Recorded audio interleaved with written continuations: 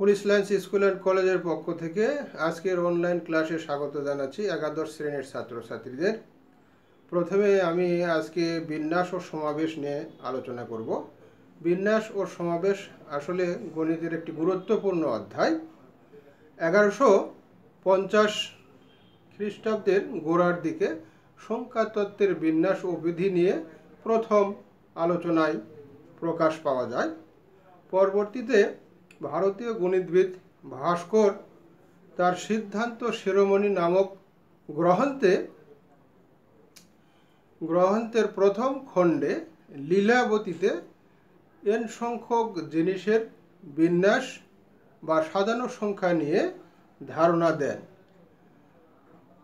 পরবর্তীতে জিরোলাম্বো ফার্নান্দো নামক একজন ডাক্তার তার প্রিয় জুয়া খেলা নিয়ে সম্ভাবনা তত্ত্বের উৎপত্তি করেন।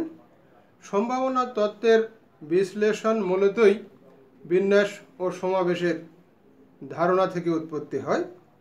পরবর্তীতে প্যাসকেল এর ব্যাপক প্রবর্তন করেন।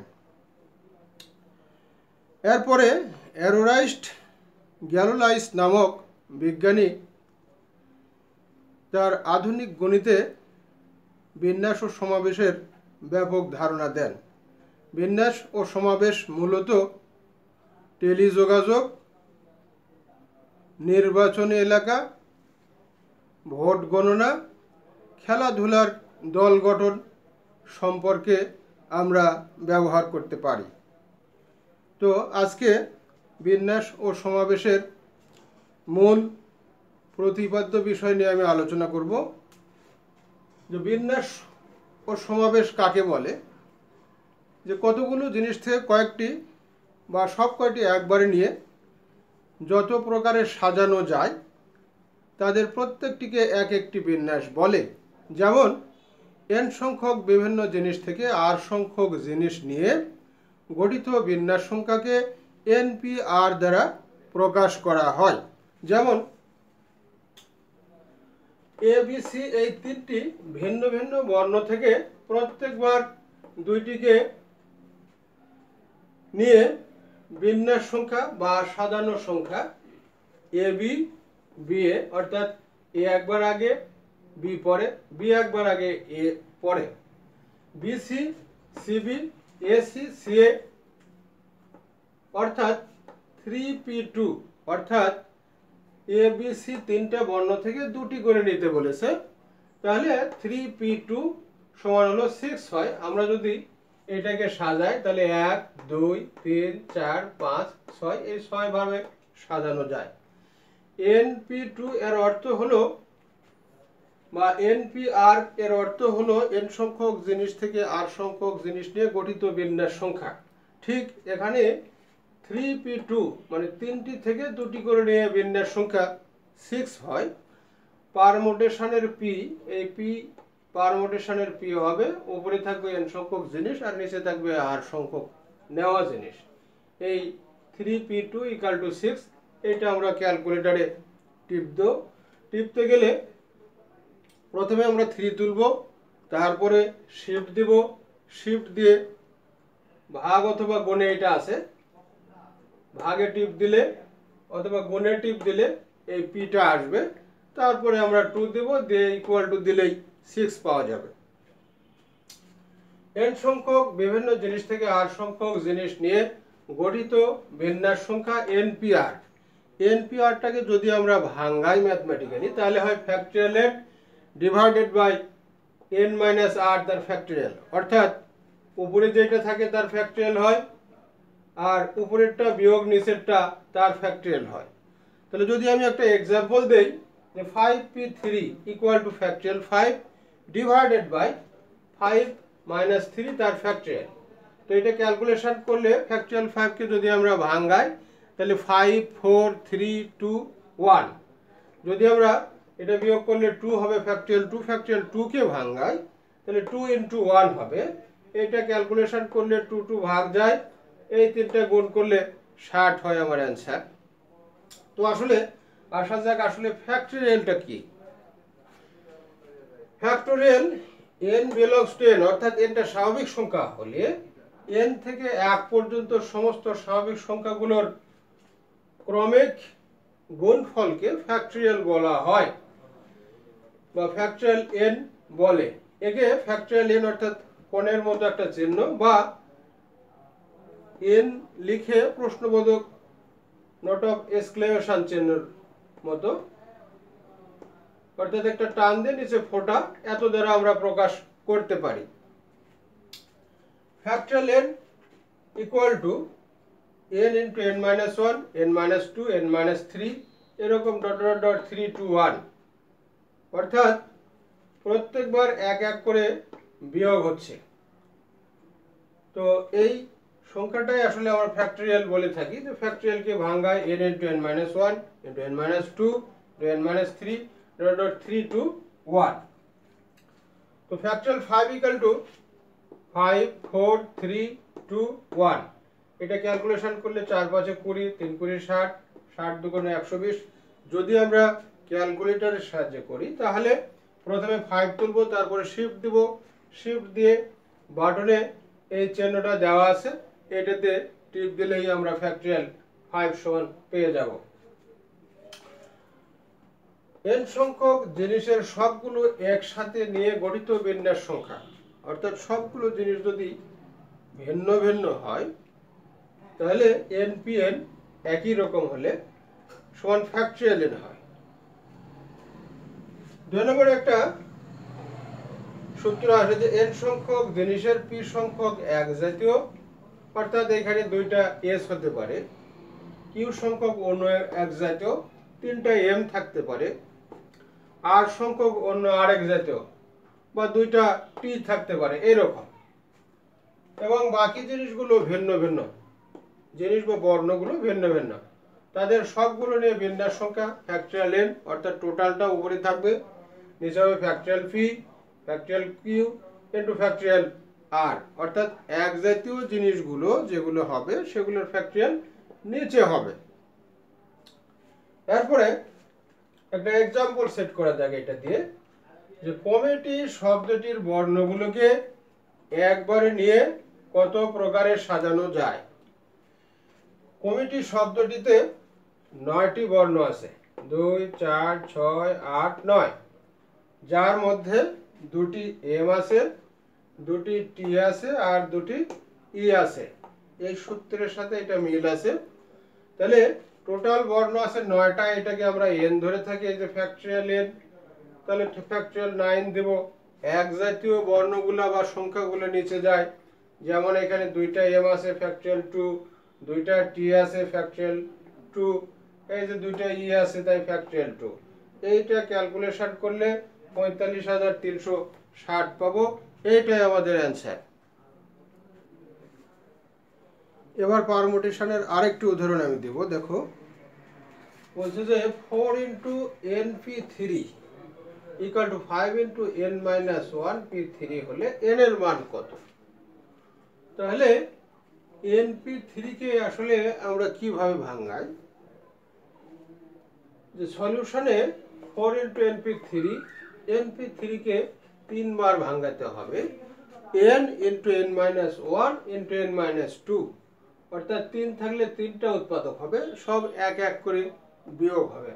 N into N minus one N minus two তাহলে এক, দুই, তিন, এখানে নিচে যা থাকবে বা থ্রি থাকলে তিনটা উৎপাদক ফোর থাকলে ফোর চারটা উৎপাদক ফাইভ থাকলে পাঁচটা উৎপাদক হবে। N minus one P three তার আগে ফাইভ ইন্টু আছে ইন্টু থাকল। এটা এন মাইনাস ওয়ানটাকেই এন ধরতে হবে। তাহলে N into N minus one এক বিয়োগ করলে দুই হয়, আরও এক বিয়োগ করলে তিন হয়। তাহলে এক, দুই, তিন, তিনটা উৎপাদক। এখন আমরা উভয় পক্ষকে n n n minus one আর এন মাইনাস টু এই দুইটা দ্বারা ভাগ করে দেব। ভাগ করে দিলে এই পানি থাকে ফোর এন আর এই পাশে থাকে five into n minus three এখন যদি আমরা গুণ করে দেই, তাহলে ফোর এন এখানে হয় ফাইভ এন আর তিন পাঁচে পনেরো। এখন পনেরোটাকে এই পাশে নিলাম ফোর এনটাকে ওই পাশে দিলাম, বিয়োগ করলে এন থাকে এন ইকাল টু ফিফটেন এই এনের মান আমরা পেয়ে গেলাম পনেরো, এটাই আমার একটা অ্যান্সার হয়ে গেল। এরপরে আমরা আরও একটা উদাহরণ সেট করব। এখানে বলছে যে, দেখাও যে আমেরিকা শব্দটির বর্ণগুলিকে একত্রে নিয়ে বিন্যাস সংখ্যা। কানাডা শব্দটির বর্ণগুলিকে একত্রে নিয়ে বিন্যাস সংখ্যার একুশ গুণ। তাহলে আসলে আমেরিকা, কানাডার আসলে একুশ গুণ। তাহলে প্রথমে আমরা কানাডার বিন্যাসটা বের করে নিই। কানাডা শব্দটিতে ছয়টি বর্ণ আছে, যার মধ্যে তিনটি এ। এই যে এ এ এ, তিনটি এ, এক জাতীয় বর্ণগুলো নিচে ফ্যাক্টরিয়াল হয়ে যায়। তাহলে কানাডা শব্দটিতে ছটি বর্ণ আছে, যার মধ্যে তিনটি এ। এখন বিন্যাস সংখ্যা আমরা কানাডাকে, যেহেতু এখানে দুইটা ওয়ার্ড আছে, একটা হলো আমেরিকা আর একটা হলো কানাডা। তাহলে কানাডাকে আমরা পি ওয়ান ধরলাম। টোটাল বর্ণ আছে ছয়টা ফ্যাক্টরিয়াল সিক্স তিনটা আছে এক জাতীয় ফ্যাক্টরিয়াল থ্রি এইটা ক্যালকুলেশন করলে আমরা পাবো একশো বিশ। এরপরে আমেরিকা শব্দটিতে সাতটি বর্ণ আছে। এক, দুই, তিন, চার, পাঁচ, ছয়, সাত। যার মধ্যে দুটি এ আছে, এক জাতীয় বর্ণ আছে দুইটা দুইটা এ। অতএব বিন্যাস সংখ্যা, এটাকে আমরা পি ওয়ান ধরলাম, এটাকে পি টু ধরলাম। টোটাল বর্ণ আছে সাতটা, তাহলে factorial seven divided by factorial two এইটা ক্যালকুলেশন করলে পাবো পঁচিশ বিশ, অর্থাৎ দুই হাজার পাঁচশো বিশ। এটাকে যদি আমরা একুশ ইন্টু একশো বিশ করে নেই, তাহলে দুই হাজার পাঁচশো বিশ হবে। তো এই যে একশো বিশ, তার মান আবার পি ওয়ান, এটাকে আমরা পি ওয়ান দিয়ে দিলাম। তাহলে আসলে এইটা হলো আমেরিকা, এই যে কানাডার একুশ গুণ। কানাডার একুশ গুণ আমরা শোট দিয়ে দিলাম। এইটা আবার প্রমাণ হয়ে গেল। এবার আরও একটি উদাহরণ সেট করব, দেখো। এখানে বলা হচ্ছে যে প্যারালাল শব্দটির বর্ণগুলিকে একত্রে নিয়ে কত প্রকারে সাজানো যায় তা নির্ণয় করো এবং স্বরবর্ণগুলোকে পৃথক না রেখে বর্ণগুলিকে কত প্রকারে সাজানো যায় তাও নির্ণয় করো। এখানে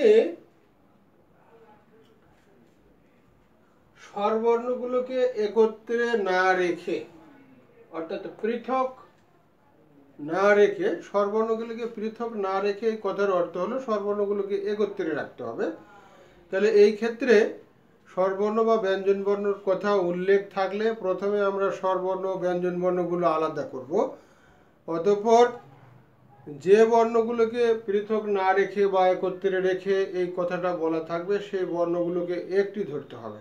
ধরে বিন্যাস নির্ণয় করতে হবে। তাহলে সলিউশনে আসা যাক। প্যারালাল শব্দটিতে আটটি বর্ণ আছে, যার মধ্যে দুটি এ তিনটি এল অর্থাৎ প্যারালালে দুটি এ আছে আর তিনটি এল আছে। অর্থাৎ বিন্যাস সংখ্যা। তাহলে টোটাল বর্ণ ফ্যাক্টরিয়াল এন অর্থাৎ eight factorial eight divide by factorial two into factorial three এইটারে ক্যালকুলেশন করলে পাবো আমরা তেত্রিশশো ষাট। তাহলে আবারও বলি আমি যে এক জাতীয় বর্ণগুলো নিচে ভাগ আকারে আসে, আর উপরে টোটাল বর্ণ সংখ্যা থাকে। তাহলে টোটাল বর্ণ আছে আমার আট, আর এক জাতীয় বর্ণ আছে হলো দুইটা এ আর তিনটা এন এইটা নিচে যাবে এটা আমরা ক্যালকুলেশন করলে পাবো তেত্রিশশো ষাট। এরপরে বলা হচ্ছে যে প্যারালাল শব্দটির স্বরবর্ণগুলোকে পৃথক না রেখে, পৃথক না রেখে কথার অর্থ হলো স্বরবর্ণগুলোকে সেপারেট রাখবে না, তার মানে একত্রে রাখবে। একত্রে রাখলে আসলে দুইটা বিন্যাসের গুণ ফল হয়। তাহলে সেই ক্ষেত্রে আমরা স্বরবর্ণগুলো তিনটিকে একটি ধরতে হবে। যে বর্ণগুলোকে পৃথক না রেখে বা একত্রে রেখে কথা বলা থাকবে, সেই বর্ণগুলোকে একটা ধরতে হবে। এখানে পৃথক করা আছে যে স্বরবর্ণ তিনটাকে আমরা যদি একটা ধরি তাহলে এক, দুই, তিন, চার, পাঁচ, ছয়, ছয়টি বর্ণ হয়। মোট ছয়টি বর্ণ হয় যাদের বিন্যাস সংখ্যা। তাহলে ফ্যাক্টরিয়াল সিক্স এতে ছয়টা বর্ণ উপরে থাকবে, আর ফ্যাক্টরিয়াল থ্রি নিচে হবে, কারণ এইখানে তিনটা এল আছে। আর এগুলোকে আমরা একটা ধরেছি বিধায় নিচে আর টোয়াইস এ, এর টুটা হবে না। তাহলে সেই ক্ষেত্রে উপরে থাকল টোটাল বর্ণ ছয় ফ্যাক্টরিয়াল সিক্স ডিভাইডেড বাই নিচে থাকল তিনটা এল এক জাতীয়, তার ফ্যাক্টরিয়াল থ্রি এইটা ক্যালকুলেশন করলে হয় একশো বিশ। এখন আবার করতে হবে কি, স্বরবর্ণগুলো নিজেদের মধ্যে বিন্যাস করতে হবে। এই যে স্বরবর্ণ তিনটি নিজেদের মধ্যে সাজানো সংখ্যা বা বিন্যাস সংখ্যা ফ্যাক্টরিয়াল থ্রি তো স্বরবর্ণের মধ্যে আবার দুইটা এ আছে তাহলে factorial three divide by factorial two এইটা ক্যালকুলেশন করলে আমরা পাবো ফ্যাক্টরিয়াল থ্রি অর্থাৎ ফ্যাক্টরিয়াল থ্রি ভাগ ফ্যাক্টরিয়াল টু সমান হলো থ্রি এরপরে স্বরবর্ণগুলোকে পৃথক না রেখে, স্বরবর্ণগুলোকে পৃথক না রেখে বা একত্রে রেখে এই কথাটা বলা থাকলে এই দুইটার গুণফলই হবে নির্ণেয় বিন্যাস। তাহলে সেই ক্ষেত্রে একশো বিশ আর এখানে পাইছি থ্রি এই দুইটার গুণ হলো তিনশো ষাট। এইটা আমার অ্যান্সার হলো। অর্থাৎ বর্ণগুলোকে নিয়ে বিন্যাস সংখ্যা হলো তেত্রিশশো ষাট, আর স্বরবর্ণগুলোকে একত্রে রেখে বা পৃথক না রেখে বিন্যাস সংখ্যা হলো তিনশো ষাট। এই দুইটা অ্যান্সার এরপরে আমরা পুনর্বিন্যাসের একটা অঙ্ক করব। অর্থাৎ আমরা এতক্ষণ বিন্যাস শিখলাম। পুনর্বিন্যাস। পুনর্বিন্যাস কথাটার অর্থ হলো যে কোনো একটা ওয়ার্ড বা শব্দ দেওয়া থাকবে, সেটাকে আমরা এলোমেলো করে কতগুলো শব্দ গঠন করতে পারব। অর্থাৎ তার বর্ণগুলোকে এলোমেলো করে বা ভাঙ্গিয়ে আমরা কতগুলো শব্দ গঠন করতে পারব, এইটা নির্ণয়কেই বলা হয় পুনর্বিন্যাস। পুনর্বিন্যাসের ক্ষেত্রে যে ওয়ার্ডটা আমার দেওয়া থাকে, যেমন আমেরিকা বা কানাডা বা পারমোটেশন যেটাই বলো, এইটাকে পুনর্বিন্যাস করলে এটা আর ফেরত পাওয়া যাবে না। তাই পুনর্বিন্যাসের ক্ষেত্রে টোটাল বিন্যাস থেকে এক বিয়োগ হয়। তাহলে আমরা একটা উদাহরণ সেট করব। স্বরবর্ণগুলোর স্থান পরিবর্তন না করে পারমোটেশন শব্দটির বর্ণগুলি কত প্রকারে পুনর্বিন্যাস করা যায় তা নির্ণয় করো। তাহলে এখানে শর্ত দেওয়া আছে যে স্বরবর্ণের স্থান পরিবর্তন না করে। তাহলে আমরা যদি সলিউশনে আসি, কি দাঁড়ায়? যে পারমোটেশন শব্দটিতে এগারোটি বর্ণ আছে। টোটাল এগারোটি বর্ণ আছে। দুই দুই, চার, দুই, ছয়, দুই, আট আর তিনে এগারো। যার মধ্যে পাঁচটি স্বরবর্ণ ও ছয়টি ব্যঞ্জন বর্ণ। পাঁচটা স্বরবর্ণ হলো ই একটা, ইউ একটা দুটা এ একটা তিনটা আর একটা চারটা, ও একটা পাঁচটা। আর বাকি তাহলে ছয়টা থাকে ব্যঞ্জন বর্ণ, অর্থাৎ ভায়োল আর কনসোলেন্ট। তাহলে স্বরবর্ণের অবস্থান পরিবর্তন না করে বিন্যাস সংখ্যা, অর্থাৎ স্বরবর্ণের অবস্থান পরিবর্তন না করলে শুধু ব্যঞ্জন বর্ণ নিলেই হবে। তবে ব্যঞ্জন বর্ণ আছে আমার ছয় ফ্যাক্টরিয়াল সিক্স আর এক জাতীয় বর্ণ আছে দুইটা টি। তাহলে দুইটা টিকে আমরা ফ্যাক্টরিয়াল টু দিলাম।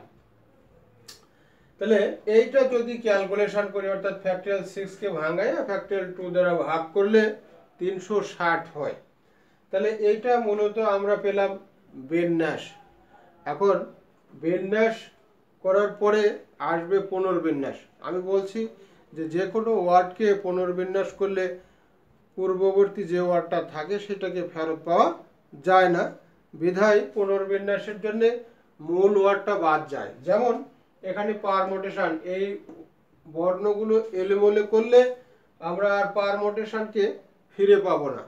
সেই জন্যেই পুনর্বিন্যাস সংখ্যাটা হবে টোটাল এই যে বিন্যাস থেকে এক বাদ। এই এক হলো মূলত এই পারমোটেশন ওয়ার্ডটা আমরা আর পাবো না, এলোমেলো হওয়ার সঙ্গে সঙ্গে। তাহলে তিনশো ষাট বিয়োগ এক সমান হলো তিনশো উনষাট। এইটা আমার একটা অ্যান্সার হয়ে গেল। এখন আমরা একটা অন্য ধরনের উদাহরণ সেট করি।